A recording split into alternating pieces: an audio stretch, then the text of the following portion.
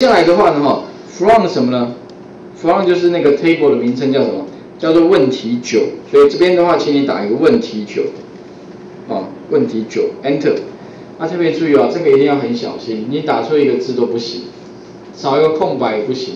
哦，OK，SQL 很难，很很麻烦的地方就是打错字。后面的话，请你空一格，条件，因为我要什么呢？小咪，那你怎么样？大小写没关系啊，反正大写小写都可以。会有，会有就是呢，我的筛选条件会有什么呢？哪一个栏位？哪一个栏位？业务嘛，对不对？啊，你如果不确定的话，请你看一下这个上面名称叫业务，对不对？好，叫业务，所以呢，我们切回来再来打一个业务两个字，然后空一格。那因为呢，这个业务里面放的是文字。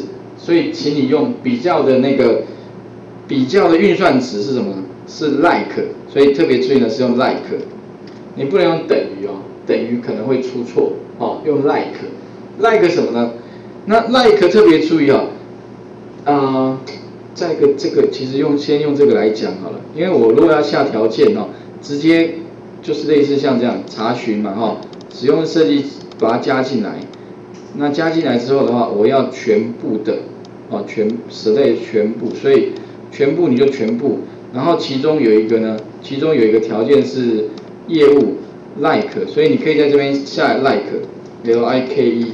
那如果在里面的话是这样，双引号哦，或单引号都可以，建议是用单引号的，因为以后然后 star，嗯，star，比如说小咪好了，好，你如果打一个小咪。